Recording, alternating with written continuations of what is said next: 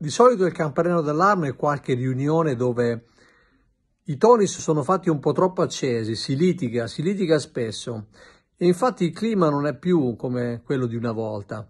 Si respira un'aria diversa. Recentemente qualche talento è uscito dall'azienda all'improvviso e questo ci ha lasciato più di qualche dubbio. Ora, la cattiva notizia è che questa è solo la punta del, dell'iceberg e dovuta ad un'organizzazione che magari oggi non è più adeguata per questo contesto di incertezza generale, eh, magari non lascia più esprimere la persona come, come prima.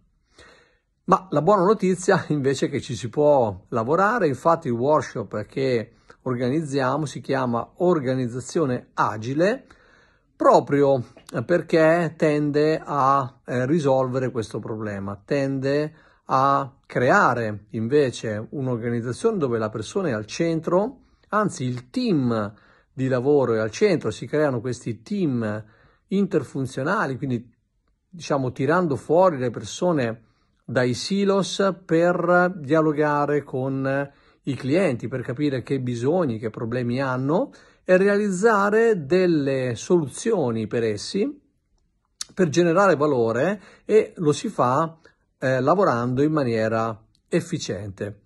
Questo come effetto collaterale porta le persone a tornare ad essere soddisfatte per quello che fanno e questo è veramente fondamentale.